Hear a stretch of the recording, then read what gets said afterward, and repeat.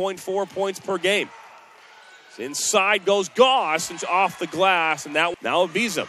Abizem heads to the basket off the glass, and that's the first two of the night. Out wide to Johnson. Johnson from three, and that one is good. 7 5. Back to Von Schaik in the corner from three, and that one. Conowitz under the basket, blocked. Kicks it out to Johnson from three. Into McCormick. McCormick drives up off the glass and bucket. All put inside for Goss. She'll shoot from about 16, and that is good.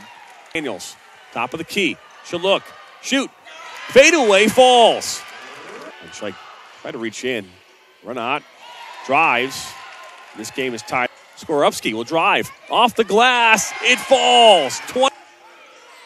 Conowitz into Novorowski. Back into Wiard. Now ball into Conowitz, and she'll put it home for two. 31. Ball kicked out to Goss from three, and that's good. Shot from three is good for Marnot. And Daniels cross court ball.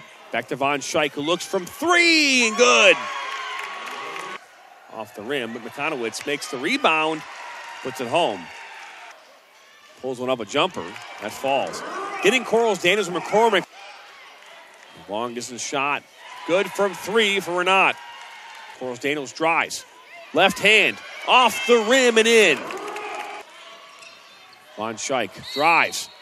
That one is good for two and a chance for a three point play in the game.